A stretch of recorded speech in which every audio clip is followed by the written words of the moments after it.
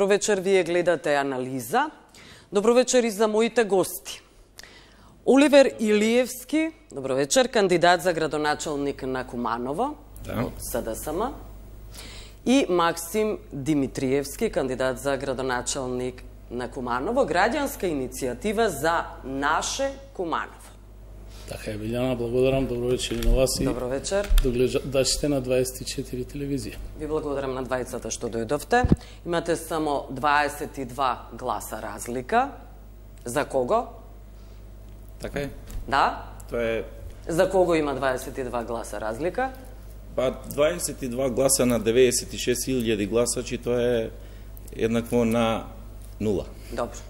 Максим Димитриевски води со 22 гласа. Само еден глас е доволен за победа. Да? И го ценам и почитувам секој глас. Не правам проценти. Благодарност до сите граѓани кои што дадоа подршка и ја препознаа граѓанската иницијатива за наше Куманово, бидејќи нуди просперитет и континуитет во работа. Добро. Можете и вие да кажете, а потоа ќе ги кажам правилата и токму и тоа правилото. Слободно кажете и вие. Благодарам нешто. до сите гласачи што излегоа на, на овие избори и сакам да им се заблагодарам посебно на гласачите кои гласаа за СДСМ и за коалицијата. На овие избори во првиот круг СДСМ победи на советничките листи. Ние имаме 10 советника. И то, добро. И да. Ќе говориме сега, имаме правила, да ги кажам правилата.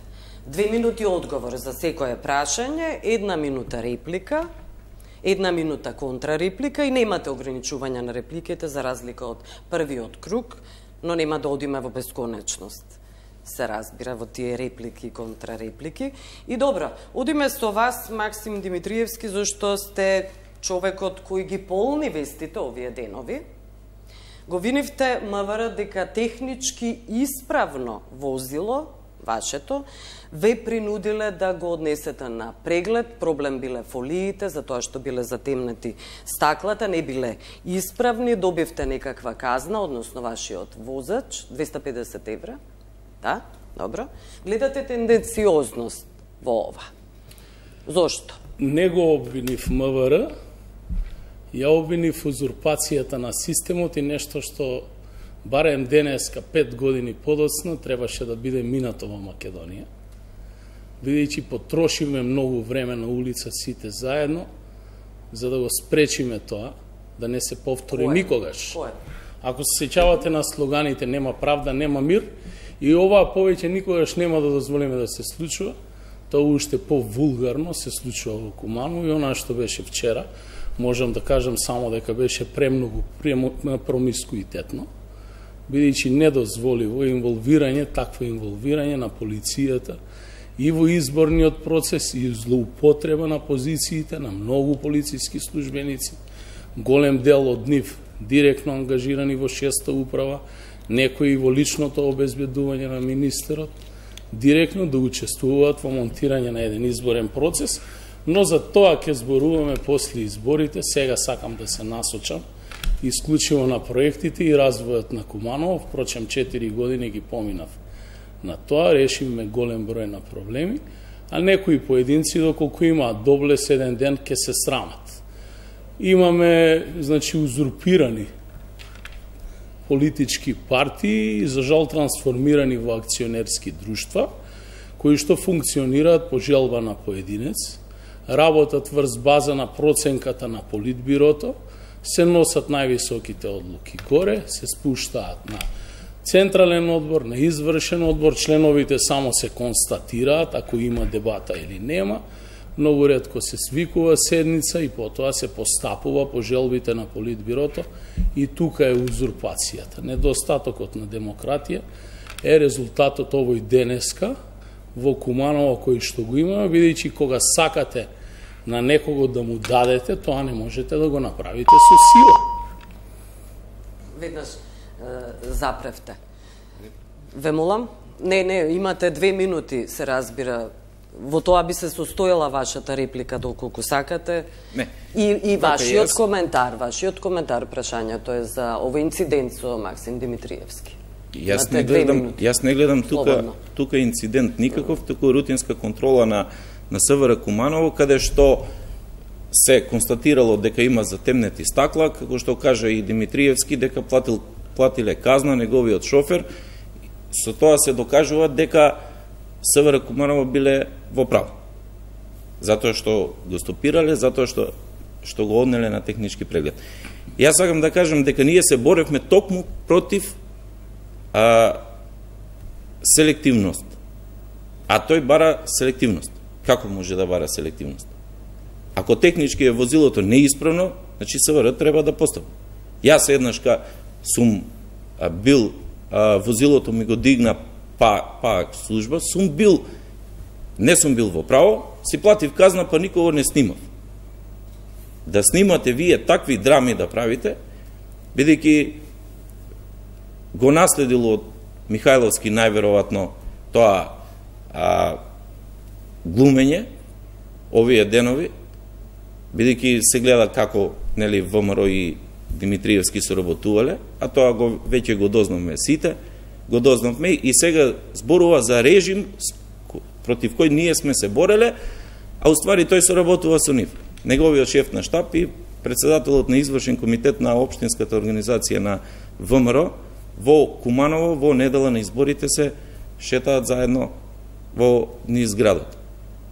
Тоа го дознавме. И дознавме се што преговарале, што договарале, но во текот на, на емисијава ќе ќе го кажеме. Ние се сконцентрираме на нашата програма, која е најдобрата понуда за граѓаните, и ние сакаме да градиме и Куманово еден ден да заличи за 4 години модерен, чист, зелен и урбан град. Тоа е нашата залажба. Добро. Добро.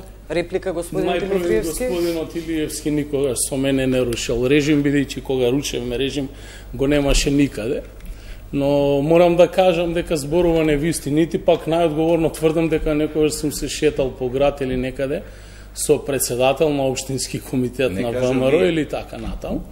Но она што е битно и треба да го знаете, бидејќи сопругата ваша е вработена во МВР од место од приватна фирма, вработена како висок службеник во МВР и изгради кариера за неколку месеци многу поголема од страна на професионалци кои што со години работат таму, а денеска се распоредени по шуми, шумски полиции, гранични полиции и така натаму. Мора да знаете дека предходеше следење на возилото од страна на полициско возило без од само со полициски таблици, што се случува континуирано овие три недели не само на мене, на целиот мој тим кој што работи со мене, откако беше приметено дека го забележаме, веднаш потоа не стопира полиција и до ден денеска немам потврда зошто сум задржан од страна на полицијата, нити пак сакаа да ми ја дадат, но за тоа ќе си покажат истрагите. Добро. Имате контрареплика, господин Ливски? Да, јас не кажав дека тој се шетал, туку неговиот шеф на штаб се шетал и дознавме што се се преговарало со режимот кој ние се боревме заедно.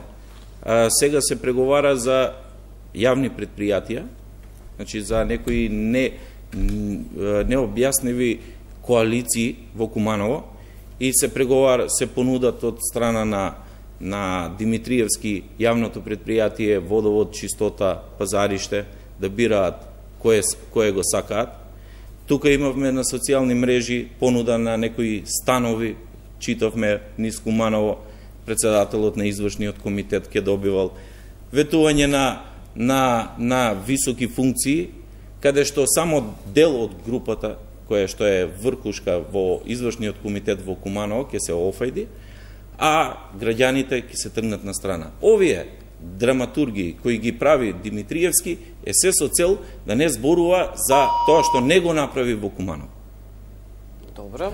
Абе, јас не знам, ова се чисти спекулации, нити има договарано нешто, нити пак може да се договара постизборна коалиција со некој, додека не ги знаете силите во составот на Советот. А во тој момент не се познати, подоцна, значи се прават на локално ниво постизборни коалиции кои што многу пати знаат да бидат и непринципијални поради бројките, но знам само едно шпекулациите на фейс групите кои што вие и вашиот штаб ги креирате и ги пуштате во етер, ги отфрлам во целосно, знам едно и суштинско дека на локацијата Ореов Латво Куманово никогаш нема во мандатот на Димитриевски да никне нов стамбено деловен комплекс, бидејќи тој комплекс се обидуваат финансиери од многу градежни компании и директни ваши поддржувачи кои што се подготвени да направат се само да не добие Димитриевски за да избришат детска градинка локација, а да изградат нови стамбени комплекси. И тоа во мандатот на Димитриевски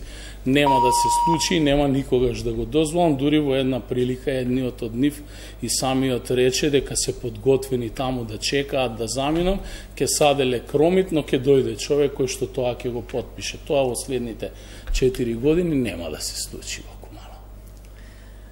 А ова е значи до Оливер Илиевски од Максим Димитриевски, градоначалник на општина Куман. Добро. Прво, за барање за јавно извинување од моја страна, што си донесе дуп за својот плац од 9000 и нешто квадрати, каде што вика, јас не ви кажав, јас ви се обратив како кандидат за градоначалник, а вие ја узурпирате општината. Градоначалник на, на општина Куманово пишува овде. Ова е класична узурпација на општина. Значи, каде што, вели, јас сум го купил плацот, ама не во тој тој период, ама си признава дека си донел дуп за местото каде што Тој има плац од 9000 метри квадратни, а цели населби околу Куманово немаат дуб и луѓето не можат да си градат куќи. И сега зборува на мене дека некој ќе дал дозвола. Јас никога јас се борам за зелено Куманово. Моја агенда почна уште пред 10 месеци за зелено Куманово. Каде мислите дека вие јас ќе направам Алармот. Ке... Да, се извинувам. Вашата агенда за зелено кумано е на хартија и јас ја докажувам да во дело и затоа и тие фирми кои што се градежни во Куманово се на вашата страна, а не на мојата. За оваа писмо мило ми е што потврдивте дека го имате примено, бидејќи голем дел од вас до тројица е упатено писмото, кривично ќе одговарате за изнесување на лаги и невистини во јавноста, бидејќи Максим Димитриевски никогаш не купил земјиште од општина Куманово, туку земјиштето го купил 2009-10 кога се вратив од работа од Ирок и не бев инволвиран во политичкиот живот, а најмалку купив земјиште од општина, направен е урбанистички план, вон плански офот за градба на викенд населба, каде што сега голем број од тие лица кои што купили имот, се организираат и сакаат да инвестираат на една карпа, кај што само желки повремено се шетаат и нормално е дека логиката на градот е да се шири вон градот, а ви кажа минатиот пат, ако сте заинтересирани, ќе ви го продадам по истата цена, по која што го имам набавено, бидејќи воопшто јас се занимавав со бизнис и од бизнис влегов во општината да ја оправам општината и резултатите се видливи од најзадолжена општина Има, во Македонија. Да, Денеска сме финансиски најстабилна, а вие бевте во бизнисот, во банката, па кажете зошто излеговте од банка и така Можете натаму, но да... дајте прашања да. да се занимаваме со да, програмата, а не бегаме и од овие да. теми. Но добро, важни се и овие а, теми, И прашањето е, се разбира, до двајцата.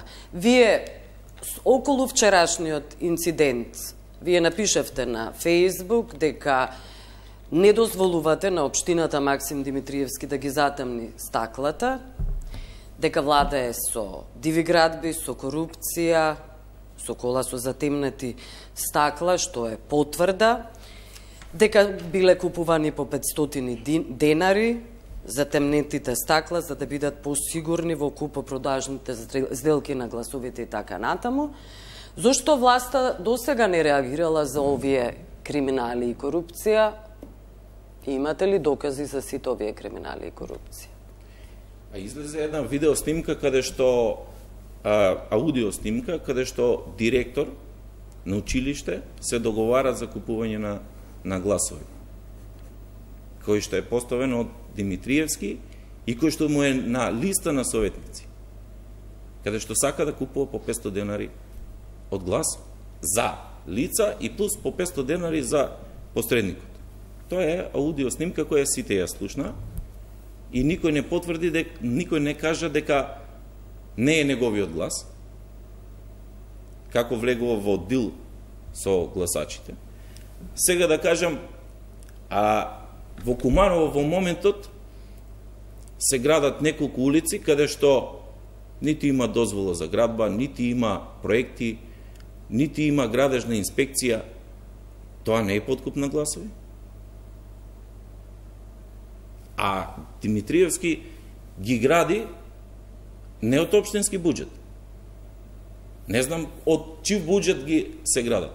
Ова излезе кампања, јас неколку пати го прашувам, колку пари му чини кампањата, бидејќи на социјалните медиуми, на сите, не можете да отворите, веднаш што излегува, билборди низ цел град, материјали а, и сега и градба на улици, подкуп на гласови, тоа излегува 1 милион евро. Толкови улици да се градат во Куманово, во моментот без никаков проект, без градежна дозвола, без ништо. Тој ги знае. Неговиот пиар консултант стои таму, на таа улица, и кога прошле наши, мои пријатели, наши активисти, тој влегол во колата и неговите се затемнети стакла. Зошто затемнети толку стакла? Од што се плаши? Добро. Јас знам од што се плаши. Затоа што таа програма што ја гледате таму е препишена од 2017. Две минути завршија. И ништо нема остварено. Добро. Вие, Максим Димитриевски... Не знам дали да се смејам или да плачам. Имате, Вакви обвинувања јавни ја во реплика? живот немам Ајде. слушнато и неиздржани.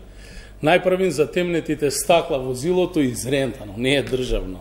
Впишани се за темнетите стакла во сообраќајната дозвола, атестирани и се. Мораа луѓето да напишат казна за да го оправдаат задржувањето. Планот бил друг. Сметале дека со тоа возило се прави подкуп, па не знаеле дури до влада како стигнал министерот за да се оправда за настанот, бидејќи очигледно дека немале добра координација, самите полицајци се најдоа во небрано ме задржа и како најголем криминалец со ротации и сирени ме носија на технички преглед. Не е проблем. Го направија техничкиот преглед и, и потврдија тоа. Инаку, за снимката која што излезе во јавно се пријавена и до ден денеска пријавена за извршено кривично дело, изнуда на средства во изборен процес и веднаш по пријавувањето на споменатото лице дека му вршеле изнуда, му се јавува истото лице и му кажува зошто си ме пријавил, што докажува директна координација со МВР обвинителството, ништо нема преземено како ни за предходниот случај за растурање на јавен беше по- реплика. процес. Иако тоа се дела кои што се водат по кратка постапка Да. во изборен процес, Добро. што значи директна поврзаност ваша. Инаку камо среќа секој А, ден да градиме ви, улици. ви заврши времето. А Извинете. улици се градат со дозволи. Да. До една. Имате контрареплика за ова? Вака. Значи, господинот Димитриевски, сакам ова да им се обратам и на граѓаните и на тие што им ветува. Прво, ветува пред изборно сега дека после изборите веднаш ќе ги асфалтира сите улици во Кумар, кои не се асфалтира. Тоа е нереално ветување. Значи, од улица до улица. Оди. Второ, до сега што ми имаат пријавено луѓе што имаат дојдено кај мене, има ветувано над илјада и нешто вработувања веднаш после изборите. И тоа е нереално. Целата општинска администрација нема толку капацитет. Да не ги лаже луѓето, да не манипулира со јавноста, да не манипулира со граѓаните, туку да каже од 14 милиони евра оперативен буџет кој го тој има кажано дека е толку 2 милиони евра вратил долг 12 милиони евра се потрошени за кружен тек една монтажна катна гаража и стопчиња на еден булевар. Ништо друго. Добро. се друго што е направено е од средства на владата што му ги пушти за Алармот, да. дадам од моето време. имате. може може Не, ти ќе имате постојана шанса за реплика и контрареплика. Прашај, Значи, имате? Прво Добро? нема да му држам лекции на господинот Илиевски за математика, бидејќи не ја разбира нити пак за општинскиот буџет, апсолутно не ги разбира работите, може би ќе принаучи па ќе дојде подготвен во студиото, но ќе кажам, сите улици кои што ги имам ветено во рамките на на мојата кампања ќе бидат реализирани во периодот од следните 4 години, а до крајот на годината оние кои што ги има во програмата и буџетот некаде околу 3-14. Дополнително нашите ветувања се реални. Куманово ќе добие нови зелени паркови, нови зелени површини, нови спортски содржини, многу урбани катшиња и многу, многу улици буквално во Куманово повеќе никогаш нема да има као да не затеков лоша финансиска состојба во општината, калот во минатото ќе беше минато и еднаш за секогаш ќе тргнеме и да го следуваме центарот на градот како што му доликува на еден модерен урбан град. За вработување нема да коментирам. Господинот Илиевски е експерт за вработување, цело Куманово знае дека он е шеф на кадровската комисија на СДСМ и всушност знаат луѓето кој ги вработува и каде ги вработуваат луѓето за компетенциите, нема да говорам. Добро, имате контрареплика или да одам со следното прашање? Може? Реплика, јас контра реплика. Добро, имате Имаме. интервенција? Тоа е Значи, реплика. сето ова што го кажа Димитриевски го имаше и во предходната програма од 2017 инфраструктура, чист воздух и животна средина. Нови паркиралишта, улици, сообраќајна инфраструктура, гасификација, Цевково од Куманово, Липково, грижа за зеленило, справување со отпад. Ако ова е справување со отпад во Куманово, еве го. Ако ова е справување со отпад во Куманово, ова е справување со речното корито во Куманово. Еве. Ако мисли на ваква реконструкција на, на, на улици, која е во Куманово, ова е срамно веќе. Повеќе современи катни гаражи, меѓу кои беше три неизградени, две детски градинки, реконструкција на градски плоштад нема, модерна упра, урбана опрема нема, доуредено речно корито на двете страни на кејот нема, нов генерален урбанистички план нема, значи сите проекти кои ги вети 2017 сега се во истата програма, а ни едно не е реализирано. Добро, господин Димитриевски. Нов, нов генерален урбанистички план Куманово почна да работи после 17 години, пред една година и е во постапка. Единствените капитални проекти кои што беа ветени како проекти во програмата во период на реализација беа капитални проекти финансирани со подршка на владата, останаа нереализирани бидејќи едниот стои се уште во фиоката на Кочо Андјушев, вториот е во фаза на гасификација, Куманово, впрочем, е единствениот град и кој што има и развива гасификација и приклучуваме и домаќинства, но и сите јавни објекти во градот, а стратегијата за отпад е веќе помината и сега во моментов се бара локација за изградба на претоварна станица. Тоа што го покажавте на сликите е улица Кирофетак, која што не е реконструирана, туку е замена на водоводна мрежа како што гледате и следната година е во фаза на реконструкција, тамо треба дополнително и гасификациона мрежа да се гради, а сликите од реката ви се стари, видејќи но, реката се чисти континуирано, тоа што се загадува од сите страни, никој не може да одговара. Контейнерите кои што ги покажавте се всушност контейнери каде што најмалку кои има комунален отпад, има друго се, ги чистиме редовно на секој месец таквите локации кај што се прават диве депонии, но господин Илиевски треба многу повеќе да се движите до градот за да ја сватите суштината и да направите разлика од санација, реконструкција и изградба. Добро, можеме со следното прашање. Што се случува со коалициите? Господинот Илиевски спомена коалиција со ВМРО ДПМН и Максим Димитриевски. Денеска ВМРО излезе дека во сабота ќе се изјаснат. Нема таква работа. Јас не знам. Нема ВМРО. шанси? Значи, нема коалиција помеѓу Максим со ниту еден политички субјект, ако праве било каква коалиција нормално беше да направам предизборна коалиција, затоа што најголемиот ризик и најголемиот притисок доаѓаше во првиот круг. Добро, ако ве подржат, опасност. значи прашањето е... Дали ќе подржи некоја политичка партија еден граѓански субјект, тоа е нивна одлука и јас во тоа не сакам да направам. Нема да се дистанцирате значи, од ВМРО ДПМН? Значи, јас не можам во избори да се дистанцирам од никој може би ќе му текне и на само во последен момент да ме подржи како социјалдемократ и реален и искрен социјалдемократ. Тоа е мојата идеолошка матрица. Знаете, Куманово секогаш бил левичарски град. Слоганот Црвено Куманово е многу посилен од сите политички слогани. Лошо е што некои идеолошки матрици на акционерски друштва од партии трансформирани тргнаа по друга насока и да не ги штитат работничките интереси и интересите на социјалните структури во градот и од тука се побегна. Затоа поддршката се потврди на овој концепт.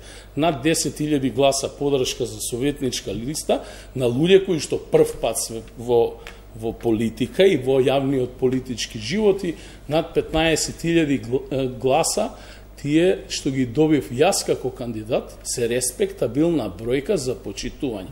Дали некој ќе одлучи да не подржи како концепт, тоа е лична одлука. Впрочем ги следам, денеска ги слушнав ЛДП и Дом дека не даваат подршка на никој, се оградија, очекувам став од Алијанса, дуи веќе има предизборна коалиција и ги испорача дел од гласовите, БЕСА треба да се произнесе и останатите политички субјекти. Но ние со нашата програма одиме до крај со подршка пред граѓаните на Куманово, кој што повеќе од јасно е дека го пропозна овој концепт и го поддржава многу масовно во првиот круг и јас сум благодарен и на тие граѓани кои што не поддржаја, но ќе направам и се да ги убедам останатите граѓани да не поддржат до крај, бидејќи овој концепт нуди континуитет. Ова е програма 30 страни. Алармот. Ова е програма која што е реализирана 200 страни. Добро. Господине Илиевски, кој е вашиот план? Со Ние... нови коалиции. Ова е ЛДП план. и Дом рекоа дека нема да да одат со подршка, експлицитна подршка за некој кандидат. Ова Тоа е, го спомена и Димитриевски. Ова е нашиот план. Значи, ова е нашиот план кој ќе, ќе го реализираме во наредните 4 години. Програмата е за сите граѓани, независно во која населба, кој каде живее, која националност. Сите проблеми, решавање на тие проблеми е најважно. Ние ќе коалицираме со граѓаните.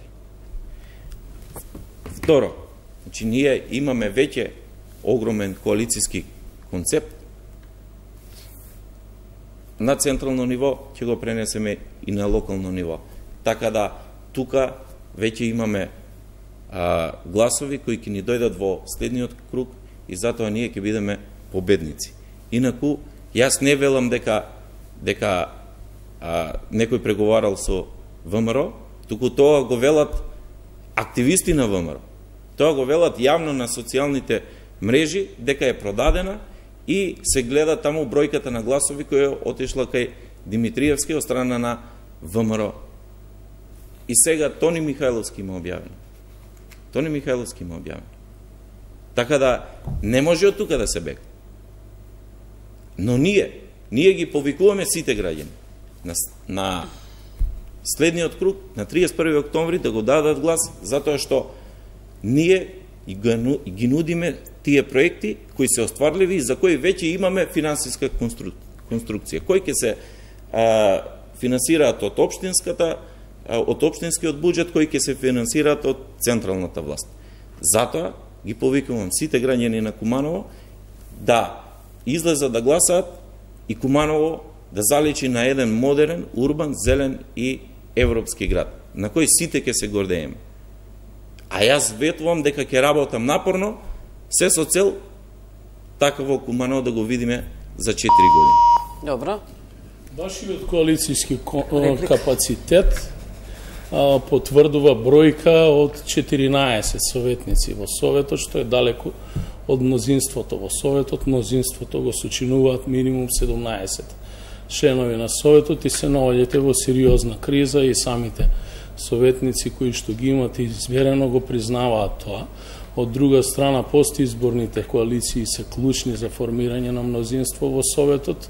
А, ние уште на почетокот на кампањата рековме дека сме отворени и работиме за сите граѓани, излегуваме од граѓаните и сме за граѓаните, имаме обврска само кон граѓаните. Никогаш во животот повеќе нема да се повтори да дојдете кај мене во кабинет како партиски секретар и да ми дадете писмо, тој да го поставам за директор, тој да го именувам таму, тој да го вработам таму и не ги писмета во кабинетот стојат, никогаш не сум ги објавил, бидејќи не се занимавам со такви работи, бидејќи на граѓаните име преку глава од таквите работи.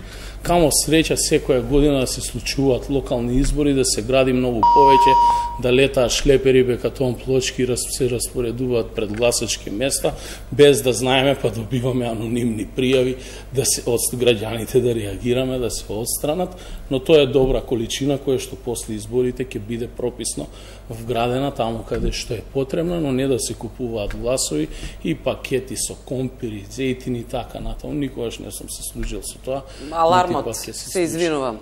Да, имате реплика? Вака, ако ние имаме 14 советника, коалицијски капацитет, Димитриевски има 10. Како мисли да стигне до 17? Значи, само потврдува дека е во незавидна позиција. А околу компири и тоа, тоа се слики кога беше корона кризата, ги објавуваат во зградата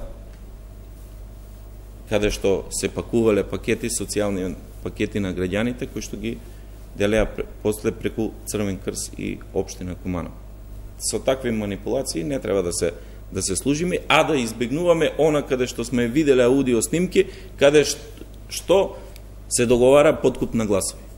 Каде што реално имаме во Тоде Мендол улици 3 се прават, сега се прави кај Митев мост, Бетови ниви, го знаат кумановци и никој не реагира. Кој ги прави? Ги прави општина Куманово, И најодговорно тврдам дека има уредна документација, исклучени договори од страна на општината. Ние не можеме да дозволиме вие со вашата, а не за жал нашата полиција да ги стопирате сите градежни работи и да го спречите развојот на овој град во периодот на избори, бидејќи ние имаме избори секоја година во оваа држава и државата ги уништи општините на тој начин. Како тоа пред две години кога дојдовте кај мене во кабинет и ми баравте заедно со председателот на општинската организација, началникот на полиција и останати партиски авторитет да градам улици без документи, не ви сметаше тогаш и ви реков не може да се градат улици без документи, за да се постигнело резултат на изборите, па одевте како кандидати и се сликавте на сите места, тогашни кандидати за пратеници, велевте вие ги правите улиците, а улиците беа правени со годишна програма, а тогаш не ги зауставувавте градежните работници. Еве денеска да ви информирам, улица Авно е направена во Куманово должина од 400 метра, уствари ќе биде булевар Авно.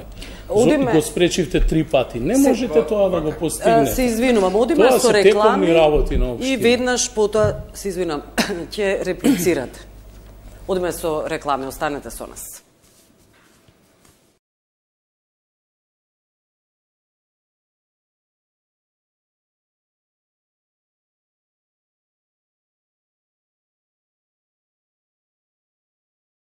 Се враќаме во анализа со моите гости Оливер Илиевски, Максим Димитриевски, двајцата кандидати за градоначалници на Куманово. Имате веднаш реплика кон Димитриевски. Повелете, Илиевски.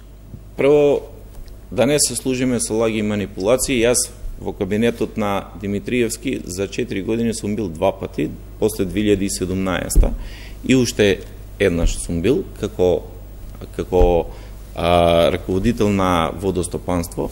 Не сум бил тогаш кога договарале, дали договарале или не, тоа не ми е познато. Но да се гради сега во Куманово со приватни пари, некои улици се се гради. Тоа е бидејќи програмата на Обштина Куманово сите ја знаеме. Советниците ја имаат донесено. Така да од тоа бегање нема. Тоа е чисто подкуп на на гласови. Затоа, иста како што манипулираше на денот на изборите, кога кажа, еве, ние победуваме, излегува на площад да слават, советничката листа има најмногу гласови, 70% од гласовите се наши, и на крај советничката листа победата е кај СДСМ, а разликата е само 22 гласа. Така да тоа се манипулација. Па ние манипулации изгубивте на избори во првиот круг и околу 70% од гласачките места, освен кај што беше албанскиот електорат сконцентриран, изгубивте и тоа убедливо. Особено во македонскиот блок доживеавте дебакал, а на 31 тоа ќе се повтори во уште поголема форма, инаку не 4-5 пати, многу добро се сеќавам, сте биле кај мене и тоа во три наврати со документи и писма и ги стоја таму со насоки за среќа не ве слушав и може би тоа е една од причините зашто влегов во немилост бидејќи не можам да поставам несоодветни кадри на несоодветни места. На глава ми се качевте кога поставив директори на средни средните училишта по избори желбата на вработените во училиштата од тимовите кои работат а не по ваш налог бидејќи и вие како секретар се немате нешто на таа партија. Посебно докажано туку како привезок на некој човек и Оливер 1, комбинација Оливер 2 ве донесува во партијата, ви инсталиравте, ја узурпиравте и тоа се случува што се случува денеска, но како и да е, имам па и видео снимки таму камера, нели, одбележено е се се снима кој влегува во општина, па може и да се потврди тоа. Она што е многу побитно, Добро. дека нема да се занимаваме ние со тоа никогаш повеќе, бидејќи граѓаните победија во Куманово сега и ќе се имплементира нивната желба и кажа, политика. предходно алармот го викав. Ако сакате, можете контрареплика, инаку имам исто, имате реплика? Мора. Морате? Да. Се разбира, повелете. Значи, ако мисли на директорот, поранешниот директор на ЈП Чистота и зеленило, Сашо Петрушевски, кој 20 дена пред истекот на мандатот, господинот Димитриевски, го исврли од канцеларија, го нарекуваше дека е најголем криминалец, дека најмногу криминали направил. И сето, и сето тоа, сега тој истиот човек Контрареплика. Контрареплика, че Значи, имате. истиот човек сега му е заменик шеф на изборен штаб токму на Димитриевски. Значи, кој го исврди и кој Димитриевски велеше дека е најголем криминалец од сите директори, сега му е заменик шеф на штаб. Како може тоа? Повелете. Веројатно ако сте водител да одговарам на вас. Да, да, да. Ако сакате да бидете. Билјана нема проблем. Да. Ќе одговарам да, на вашите прашања. Но први а, мислам дека е многу некоректно да зборуваме за лица кои што не се тука или немаат можност да кажат. Па да обвинувате, па да па Оливер Еден и Оливер знаат, тоа цела Македонија знае дека е така. Ја уште не знам во Куманово кој ми е против кандидат. Дали сте вие или Спасовски, требаше да се одлучите барем до сега да знаем. И немојте да мислите дека тоа ви е некоја голема придобивка. Тоа е уште поголем тек во делот на работите сега. Но видете, господинот Петрушевски го спомнавте, никогаш најодговорно тврдам не сум нарекол дека е криминалец. Но сум сметал, ја не знам, тоа инсинуирате. Но сум сметал дека може друга, свежа енергија да раководи со тоа јавно предпријатие. Добле се тоа што денеска тој човек е во мојот тим. И бил во мојот тим. Знаете, па не мора секогаш да бидете прв за да бидете во тим на некој. Значи, доаѓа друг, друг човек, друга енергија, но вие не губите шанса, добивате шанса на некоја друга позиција, но сепак он е социјалдемократ. По убедување и докажан социјалдемократ, за разлика од вас, кој што по приказната на Полжавот и Орелот стигнавте таму кај што сте денеска и кога ве прашуваат како ве стигнавте до тука, Може да- знае, А, го знаат. Не, Ова во не, бесконечност не, само, ќе само оди. ова. Ајде. Значи, кратко ќе видам, бидејќи јас повеќе сакам да работам него да да зборувам. Инаку во господине Димитриевски, во СДСМ јас сум член на извршен одбор од 2005 година навам. Како тоа ме донеле од некаде и ме, ме ставиле. И вие тоа добро го знаете. Во СДСМ Куманово од 2005 година па навам во извршен одбор. Така да, мислам дека ова се само инсинуации пред граѓаните, ама кои нема да пројдат. Граѓаните бараат дела, а не зборови. сите ме добро знаат и јас сум горд што ги добив тие гласови и сум горд што на следните избори, односно на следниот круг, ќе бидам градоначалник на Куманово и тогаш сонот нема да ми се исполни.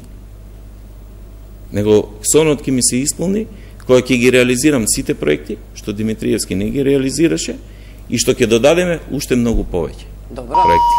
Има едно прашање, може ли да поставам прашање, постојано реплика, контрареплика и Рековте, не ли имам посто... право на реплика, затоа, но повелете. Ајде, затоа што ќе одговорите веднаш. Има едно прашање што постојано виси во јавноста овие денови.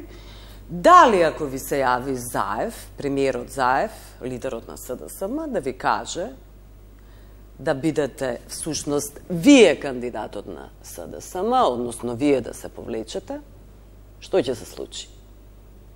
Прашање до двајцата, се разбира. За По две прашање- минути. За тоа прашање ќе мора да го прашате господинот Заев.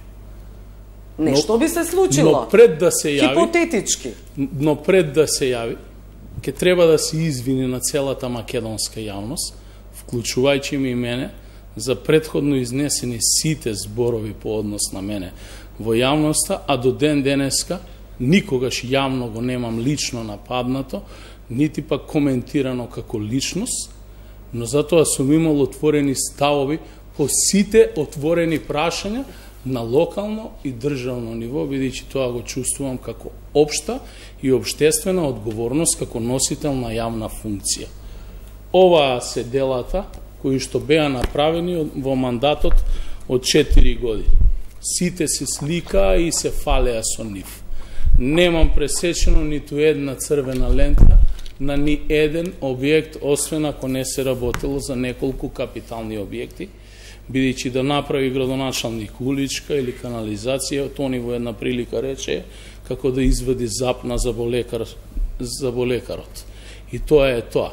Но затоа ќе продолжам во следниот мандат со уште поголема енергија да ја имплементирам оваа програма која што не е пропиш, препишана од предходно, туку надоградена, значи за нови капацитети на спортски игралишта направивме 13. Ние не велиме што ќе направиме, кажуваме направивме 13 со собствени средства и ќе продолжиме и ќе направиме уште најмалку 15 до 18, не само во урбани, туку и во рурални средини. Пред две недели направивме две, едно во Агино село, друго во село Романовце, не ги ни изрекламиравме. ке изградиме пет кружни токови. Конечно за двата кои што се во постапка денеска под притисок стигна одговор за сообраќајна од Министерство за внатрешни работи СВР Куманово не одбија. ке одиме од почеток ќе добиеме согласност бидејќи општините не зависат од државата. Државите зависат и обстојат врз база на грбот на општините и на граѓаните. Добро. Повелете, господин Лиевски. На истото прашање Може така, и се разбира, можете и Значи, реплика јас, јас никогаш за ова. Во Добро. животот не сум се откажал од ништо и секогаш сум бил трпелив до, до самиот крај. Ако ве замоли лидерот, Значи, јас Љубезно? секогаш сум бил трпелив до самиот крај. Добро. Истото беше и за кандидатура. Некои велеа, јас ќе бидам, јас ќе бидам како господинот Димитриевски, на крај не бидам. Така ќе биде и на овие избори. По вториот круг. Верувајте дека така ќе биде. добро. Затоа што ние ја имаме најдобрата понуда за Куманово и ние сакаме да градиме. Сакаме да градиме детски градинки, сакаме да градиме плоштад со подземни сообраќајници, подземна гаража, сакаме да градиме уште две катни гаражи, сакаме проширување на продолжување на булеварот Октомвриска, сакаме да го изградиме градскиот кеј, три реконструкција на три паркови, три нови да изградиме. Сакаме да градиме уште многу проекти, кои се мини проекти, мој еколог, во секоја населба, посебно, да има микросредини и за најмалите детски качиња, за младите детски о, игралишта, да имаме качиња за возрастните и за пензионерите. Тоа сето ќе го направиме, имаме финансиска конструкција, кој проект од каде ќе се гради. И да го направиме Куманово еден поубав град за живење. Да ги развиеме индустријските зони, да привлекуваме инвестиции, да го гасифицираме целиот град, а во исто време да ги гасифицираме сите индустријски зони, се со цел да привлечеме инвестиции, младите да ни останат тука, а не да ни бегаат во странство. Затоа, таа е програмата која нудиме на сите граѓани на Кумар. Добро. Па младите до сега ви избегаа надвор, веќе ги нема тука. Голем број од нив избега, иако велевме дека ќе биде едно обштество за сите, но побегнаа поради нефункционалноста на системот и длабока разочарана во истиот. Инаку ова се нереални ветувања. Само да ви кажам за експроприација на булеварот Октомвриска револуција и негово пробивање кое што го најавивте треба 50 милиони евра. Кај ќе ги најдете тие пари? Ке кажете повторно владата. Кој ќе владе? Е владата или вие? Владата не може да плаќа експроприации за откуп на куќи кои што треба да се рушат за да се пробие булевар, бидејќи не постои таква законска основа. Подземната тиниот проект е некаде 6 до 7 милиони евра. Сите ние сакаме да го направиме Куманово да личи на Менхетен, но мора да си ги испружиме нозете колку што ни е чергата.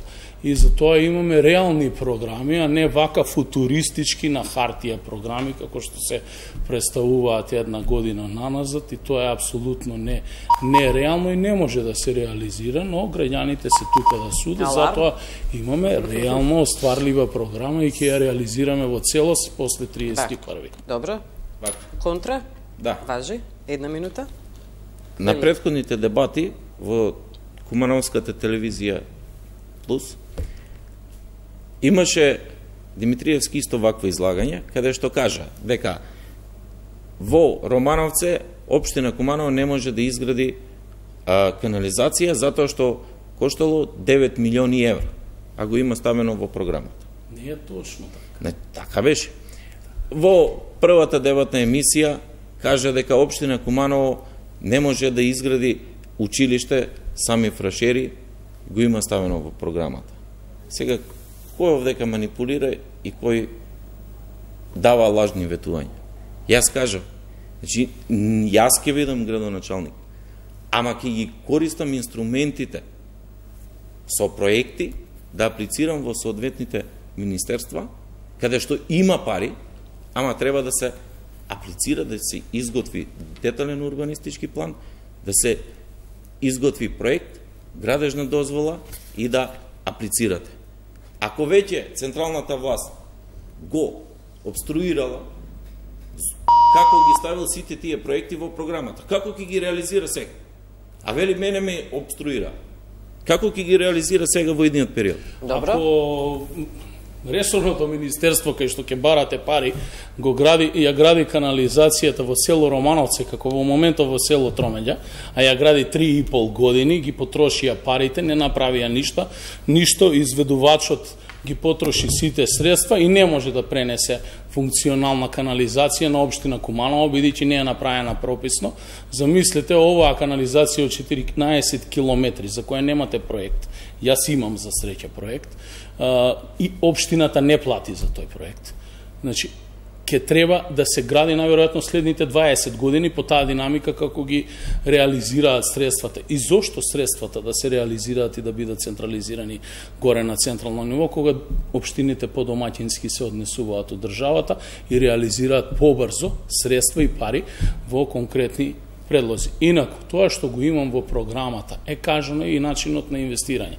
Значи, единствено ИПА фондовите и другиот тип на европските фондови се можноста на општините да аплицираат со готови проекти и за среќа ние ги имав. Ја немав ни еден проект кога дојдов како градоначалник. Секој проект чини од 5000 па нагоре евра, зависно колку е голем. Денеска општината има капитал во проекти, потрошиме пари на хартија, формираме јавно предпријатие за таа намена и аплицираме и сме лидер на европски проекти во Македонија и во регионот по имплементација. Тајмерот, тајмерот. Може да поставам прашања или имате реплика некоја? Може. Има една интересна изјава во, во дебатите од ваша страна. Нема да дозволиме да бришат плочи. Се мисли на партизанските споменици. каде што сушност треба да се избрише фашистички, бугарски фашистички окупатор. Што велите на тоа? Ќе дозволите ли да се бришат или не? Партизанските споменици, прашувам за град, за Куманово, кој, кој всушност го славеше 11. октомври, го славевте, ели? Да. Јас се кандидирам за градоначалник на Куманово, не се кандидирам за министер за надвршни работи, ниту пак имам ингеренции да преговарам за историја, нити пак сакам да преговарам за, за историја, затоа што тоа не е мој делокруг на работа. Јас сум дипломиран економист, менеджер, професионален, 15 години и сакам да го водам градот и да го изградам градот. Тоа што ќе одлучи некој друг, јас не можам да, да тврдам дали е така или не е така. Ако сум сакал да се занимавам со историја, ќе сум бил историчар. Ако сум сакал да, да вршам некоја надворешно политичка функција, нема да се кандидирам за градоначалник на Кумано. Сакам оваа програма целокупно да ја реализирам. Граѓаните да добијат модерен, убав, зелен европски град.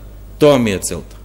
Не ми е целта да, да се занимавам со се и се што и да сум јас експерт за се и се што. Затоа мора да имате тим на луѓе кои ќе работат заедно со вас и затоа секогаш во, велам ние. Значи, кога велам ние, зборувам за тим на луѓе кои ќе работат заедно со мене. Тоа е нашата програма и тоа е нашата цел. Секој треба да си ја врши работата за која е платен. Јас треба да си извршувам мојата функција, друг треба да си извршува неговата. Тоа што ќе се договорат некои комисии, каква одговорност треба да, да сносам јас, како градоначалник на Куманово. Не можам, затоа што тоа не е мој делокруг на работа. Ако се донесе законско решение, секогаш законите треба да се почитуваат. Сите закони треба да се почитуваат. Затоа што ако не ги почитувате, ќе сносите одговорност. Добро, добро, господине Димитриевски. Истото Сакам прашање? да кажам дека во сегментот на локалната самоуправа постои сектор за култура и спорт, кој што култура секторот покрива и оделенски, а тоа е спомен обележија и Да. споменици. Да. И имате споменици под надлежност на државата од прва категорија, но имате и спомен одбележија и спомен плочи кои што се под надлежност на општината и те како господин Отилиевски треба да знае дека ние имаме надлежност тука. Добро. Но ние не сме градоначалници да ја менуваме историјата, ние сме градоначалници кои што треба да ја пишуваме современата македонска историја врз база на нашите програми и секако врската ние да работиме да имаме нови спомен од бележја, но да ги почитуваме старите. Никој не ни дозволува да ја менуваме историјата. Впрочем, мојот став по оваа прашање е јасен. Куманово е град револуционер, емоциите се премногу силни и секој кој што ќе се обиде да направи такво нешто, првично ќе се соочи со граѓаните, а и со мене првенствено како граѓанин. Ниту сум дозволил да се симне било какво одбележе кое што беше понизно на шахтите и оние знаковите на Виргината, ја може би го разбирам и Оливер 1 и Оливер 2 бидејќи не беа во Арама, а некој од нив требаше да оди, тогаш беа инвалиди и не можеа да одат, вадеа медицински потврди заедно со пола влада и собрание кое што седи таму, а денеска се здрави прави да ги водат и секторски и државата и се, а кога требаше да одат не бе. Кога бев во Арама, носе Виргина или знамето од Кутлеш. И тоа е дел од нашата историја. И исто така, бугарскиот фашистички окупатор не го напишаме ние го напишаа нашите предци низ разно разни историски комисии, а никој не го споменува Бледскиот договор и до каде и што и како е подпишано. Така да ние немаме право да ја менуваме историјата и во Куманово апсолутно тоа не се прифаќа ни во цела Македонија, впрочем, а не само во Куманово. И за разлика од останатите, и во овој случај господинот Илиевски кој што бега од го одговор, јас имам конкретен став по оваа прашање Нема да дозволам да се гази по историјата на нашите предци. Сме биле, сме и ќе бидеме макеноци и нашите деца, Алармот, внуци и правнуци. Дали заборавиме тајмерот? Имате реплика? Да. Повелете. А, не би сакал многу да зборувам на оваа тема, бидејќи пак ќе кажам не сум експерт, ама господине Димитриевски, кој вадел медицинска документација? Рекол Јас- Оливер Еден. Јас Генерација ми е, па не кога требаше да не оди во Арама, не отиде во документација, Арама, така да се лажите нешто. сма. денеска знае на строј да стои. Господин Димитриевски, се извинувам, ќе имате шанса, ќе имате шанса. За Значи- минута, да, само нека заврши господин Лиевски. Ве молам, се завршете. служи се служите со манипулации, така да ве молам за такви работи немојте пред јавност, затоа што јас никогаш не сум вадил медицински документации за било што и нема да да да вадам. Рековте Оливер 1 и 2. А тоа Значи- од навика, веројатно. Зошто, значи, зборувате за таа политика, а не зборувате за детските градинки и за катните гаражи кои не ги изградивте? Зошто не зборувате за гасификација на целиот град?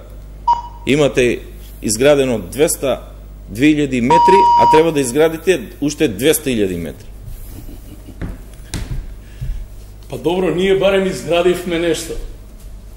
Значи, за разлика од многу во државата, ние барем изградивме водоводна мрежа 3,5 километри, 13,8 километри атмосферска канализација, асфалтирани 165.000 метри квадратни, 16.200 метри квадратни тротоари, бекатон плочки 22.000 метри во рамки на програмата, тампонирање 169.000 метри квадратни. И да не кажам многу, многу други проекти, но она што е најбитно, државата на полето на гасификација не мрдна ни еден милиметар напред и само се зборува за истата гасификација, што е изградено и што е гасифицирано. Освен Куманово, еден дел од Струмица, дали имате некаде гасификација? Во Куманово имаме стабилно и рентабилно јавно предпријатие кој што не беше такво пред 4 години.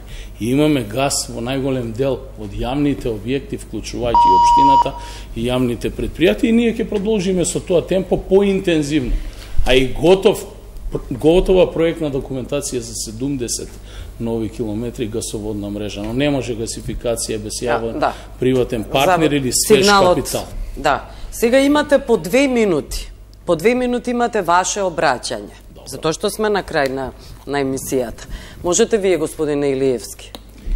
Повелете. Сакам да се обратам пред граѓаните на Куманово, дека јас не влегувам пред никакви предизборни коалицирања и предизборни пазарења и дека јас сакам да го градам Куманово, де, како што кажав ви предходно, да изградиме две детски градинки, да изградиме катни гаражи, да го решиме сообраќајниот метеж во Куманово, да работиме на проширување на сите сообраќајници, да работиме на реконструкција на сообраќајници, да работиме на Куманово, веќе да не зборуваме за канализација, водовод и улици.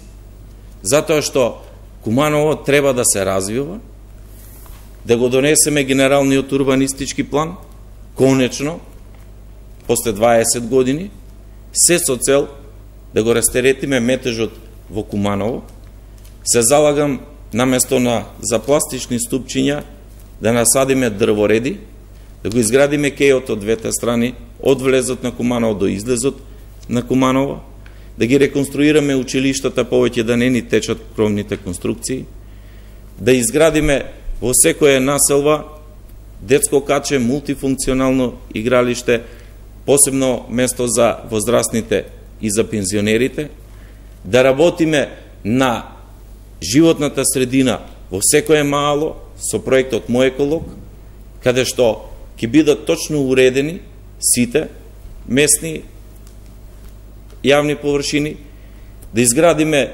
тротоари во централно градско подрачје и во другите населби, на секој тротоар мора да има дрвореди, 50.000 дрва за 4 години во централното градско подрачје и во урбаниот дел на градот, посебно во околината, се со цел граѓаните да имаат модерен, зелен, чист и европски град. Добро. Господин Димитриевски. Поштувани сограѓанки и сограѓани, ние сме од тимот за наше Кумано. Јас Максим Димитриевски, вашиот кандидат за градоначалник. Ве повикувам да дадете на 31 подршка на овој граѓански концепт. За моје, за твое, за наше Куманово. Ние сакаме да работиме во модерен град, да го градиме и создаваме секој дневно, да продолжиме таму каде што застанав. Заедно реализираме повеќе од 400 инфраструктурни проекти. Нашиот план и амбиции се во следниот период заедно да реализираме повеќе од 800 проекти. Посериозна социјална заштита покриена на локално ниво. Секој социјален случај да добие можност да му бидат платени комуналните давачки за вода и за надоместок за смет. Дополнително јавен превоз бесплатен за студентите и најстарите генерации, за нашите пензионери кои што денеска во оваа сиромаштија издржуваат цели семејства. Дополнително да изградиме повеќе нови спортски игралишта и да продолжиме да го потврдиме слоганот на Куманово Европски град на спортот кој што го добиме 2019 година. Да ги извадиме младите деца од секојдневната употреба на телефони, таблети и компјутери надвор, да растат и живеат, но да се играат на модерни спортски игралишта, по пример на техничко училиште, гимназија и уште 13 такви локации во градот дополнително нови зелени површини, да ги вратиме заедно тротоарите на пешачците, да направиме функционален систем кој што ќе функционира. Почитувани сограѓани, знам дека го препознавате овој концепт. Тоа го потврдивте пред неколку дена со масовна подршка на институт. Ја бараме вашата подршка да продолжиме заедно да го развиваме Слободарско Куманово, кое што секогаш било предвесник во историјата на нашата држава на големи промени. Ви благодарам. Добро, јас ви благодарам на двајцата, господа. Дали сега ќе станете да се ракувате, да победи најдобриот во фер и демократска атмосфера да поминат изборите? Апсолутно, зашто? Абсолютно зашто. Добро. Одма да станеме? По ова е крај на емисијата, да. Ви благодарам, ви благодарам што бевте гости, Оливер Илиевски, Максим Димитриевски. Ви благодарам што не гледавте. Пријатно.